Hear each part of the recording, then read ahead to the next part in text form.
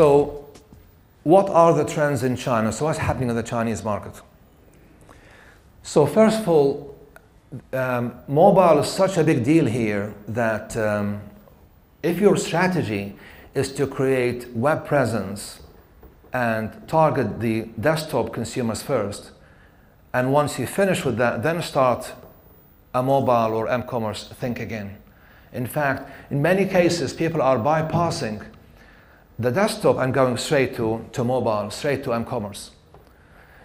So 400% growth year on year, that's much bigger than anything we have out there. So that's one. Secondly, when we first came here four years ago, no one was interested in B2C or e-commerce or multi-channel. The reason for that is Alibaba.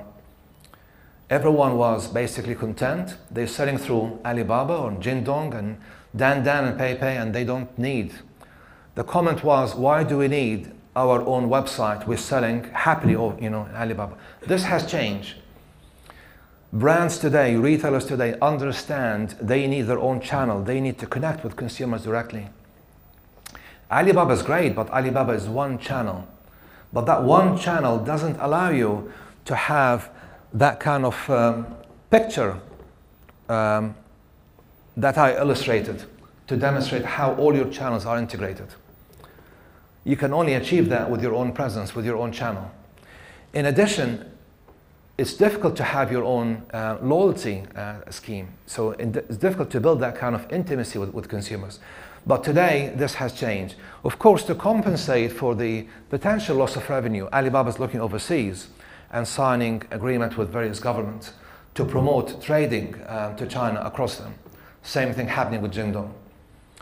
The other thing happening, which is really exciting, if you were to ask me a couple of years ago, how long will it take China to get into multi-channel, I would have said it will probably take five, six years, given where China was at that time. The exciting thing, China, Chinese market is using innovations such as WeChat to cross the boundaries between physical and digital. So China actually is creating, on, uh, creating O2O and multi-channel much faster than expected because they use innovation, which is different to the model used in, the, in, in, say, in Europe and the UK, where you have mature retail. So that's exciting. Social commerce obviously is much more exciting. So we can learn a lot from the Chinese market in terms of how to use um, social commerce. The equivalent of WeChat in a European market doesn't have the same uh, capabilities, transactions, commercial capabilities that WeChat has. We then have high expectations. Chinese consumers are getting very, very sophisticated, you know, lots of expectations in terms of um, um, what they expect from you as a retailer. The changing demographics, yes, China is not uh, a country. China is more like European Union. You have all the countries in one. And, um, and, and obviously every country changes over time, except in China, the two differences. One, that change is happening at a you know, much faster pace. And secondly, you have the change happening in time and regions, geography. So Chinese trading north and south, east and west, totally different. Finally, um, Chinese consumers are changing. They're not, no longer just about price driven. There will always be price sensitive segment. That doesn't change. But in addition to that, we started to see a rise of new segments, cash rich, time poor. People who don't want to display wealth, but you know, they are more subtle about it, which means they need to understand more about the brand heritage, connecting to the brand. So these are the changes that we see happening in the Chinese market. So what are the challenges? The biggest challenge facing retailers in China is, is the first one, the, the B2B mentality. There's a very strong business to business mentality and not enough business to consumer. Many examples, I talked, I talked about department stores and concessions as one example. Um, other examples include um, uh, franchising, you know, and the, uh, the use of franchising to, to increase revenue significantly, um, but you're not dealing with consumers directly. This B2B mentality has led to lack of trading skills. So the example of department stores, a merchandiser in department store isn't a merchandiser, say, in John Lewis or Selfridges or Harrods. They're more relationship managers than, than, uh, than merchandisers. So there is a problem in terms of lack of trading uh, skills. The other challenge here is there is um, um, an underestimation of the impact on the organization as you, as you go through this journey. And hence, you see a lot of um, technology driven. So many Chinese brands and, and retailers, when we engage with them, they really are focusing on technology and basically saying, what kind of technology do you have to help me? Uh, they want to bypass the organization uh, analysis and impact, and they just want to go about technology. And if there's one thing, you know, to say here is, it's never about technology alone. It's about people, process, and technology. Technology on its own doesn't solve your branding problem, doesn't, you know, get you to, to understand your consumers. It helps, but it's no substitute. Um, the other thing is um, e-business is business. We're not talking about some business on the side that uh, you know you hire some um, uh, cool teenagers to, to work on, on some websites. That's not e-business. E-business is for you uh, to understand the impact on the organization. And um, the view that to succeed in online you must drop price is a myth. Obviously, you need to have a driver to, you know, it's a channel, it's a store. Just like you open any store, any physical store, you need to think about how to attract consumers. If you open a store and you don't go about customer insight, understanding your brand values, communicating, you know, brand values consistently, understand customer experience. If you, if you don't do any of that, then you drop the price. But that's your choice. And it doesn't have to be like that. And, and the changes that I just talked about, how the consumers are changing in China, is an illustration that it's no longer about the price. It's about much more than that. It's about you, the brand, it's about consumers, and it's about the customer experience. Finally, we talked about China is complex, and, and it is. The uh, decentralized approach in China which means if you have multiple stores, each store is a commercial entity, lead to um, operational difficulties such as customer service. There is a culture of decentralized customer service. Customer service exists in store and they don't share uh, feedback and, and um, amalgamate information uh, you know, to, uh, to, to the head office. So these are the trends and challenges. In terms of opportunities, the opportunities of multi-channel um, and I gave some examples, and apologies, all um, British examples, UK examples, but the UK is the, um, is the largest market in the world, even, e even bigger than the US in terms of contribution of um, multi-channel to GDP. And the opportunities here um, illustrated by the following. First of all, because you know, many people think multi-channel is only about creating another revenue stream. It's far bigger than that. The first advantage you have here is differentiation. Anyone going to London strongly recommend you go to Regent Street and have a look at the flagship store of Burberry to understand how much Burberry have moved in the last 10 years using multi-channel. And that change has been seen in expanding their customer base to include younger segment at the same time to use technology and multi-channel to make it really exciting customer experience.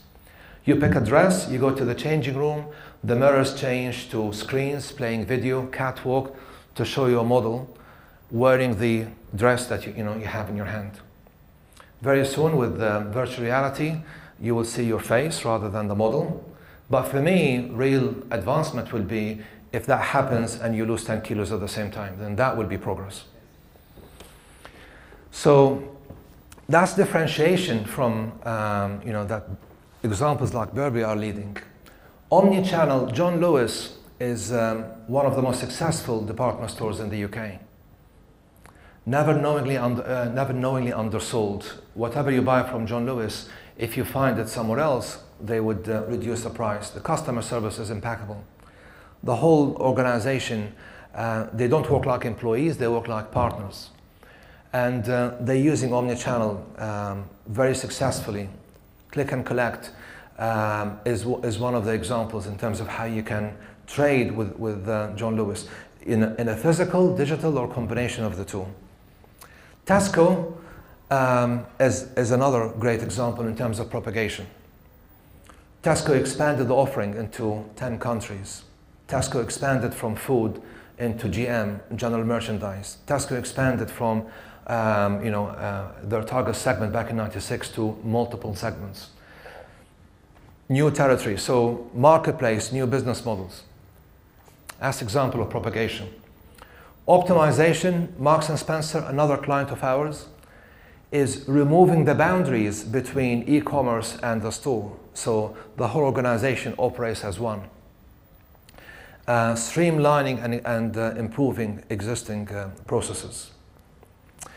F&F is, um, is a fashion brand. So if you go to Burberry, Regent Street, take a short drive to Kensington and look at F&F. F&F is a Tesco brand, but when you see it, doesn't doesn't give you an impression that this is a fashion brand owned by a supermarket. Again, they're using multi-channel to elevate the brand. So these are examples of how to use multi-channel. In China, the two big examples for me are Suning and Intime. Suning have invested huge amount of money to reinvent themselves moving from their existing target segment into wider target segment, attracting women shopper, selling beauty and cosmetic products, enforcing one price strategy across all channels, and, and lots of um, you know, um, uh, exciting changes. Um, it has been a struggle, but you know, I think gradually they will get there. Intime is another great example in China of a department store that is engaging with consumers and trying to create that kind of omni-channel. So, you know, there are a number of retailers in China embarking on, um, on multi-channel with the understanding that it's much bigger than just online or e-commerce. Ultimately, this is the vision that we're trying to create, a vision whereby you are trading across all channels, store, digital, mobile apps, social, etc. Providing rich offering and consistent service to consumers, hence the term omni-channel. Achieving alignment across people, process, and technology. Uh, having the agility to change business models if you need to, react to, to changing uh, market trends, understand how to expand your segmentation uh, your range, etc. As a consumer, I can research on one channel, buy from a second channel, have the product delivered from a third channel, and if I'm unhappy, return to a fourth channel and then share my story on a fifth channel. So I'm using five channels within one experience. For that to happen, you need to have sharing in customer insight, in price and promotion strategies, in range proposition. You can't buy from one channel, return to the other, just to be told we know nothing about this product. So this is, this is the world today. Not just simply have a website and trade, but achieve this as a business, as an organization. And you can't achieve this by machines. This is people's business. And pe people need vision. So it starts from leadership with the vision in order to achieve this. This might be a bit futuristic, but not really. So in the UK, we are already talking beyond multi-channel. So these are channels. That's, this is multi-channel. But we're also talking about multi-business model. Multi-business models from B2C to marketplace, to shared platform, to affiliates, to white label, you have the ability to create business models in, in an amazing way, you know, that you never ever had that kind of um, advantage. In addition, of course, to internationalization, lots of Chinese brands, retailers, when they go overseas, they go for branding. But it doesn't have to be like that, you know. You can also have commercial objectives. And finally, multiplicity in terms of segmentation, both static segmentation lifestyle, and dynamic segmentation based on your behavior with the channel at the time. So this is what's happening today. This is not, uh, as I said, hype or marketing. This is reality. So gone the days when we only you know, depend on, on e-commerce and multi-channel. This slide illustrates the point I was making. Traditionally, when you used to open a store, there was one driver. You know, you either creating a store based on the choice or range, or based on the price, or based on the experience, convenience, based on location, or based on the, you know, the theater, uh, the look and feel. One driver, you can only open a store based on one of these. Today, you can have, have, have it all. So the illustration here is these are the six business models I mentioned, and you, as you can see, you can achieve all these drivers. This is new. This is um, completely revolutionary in terms of how you, you think about business and how important this business is e-business to you.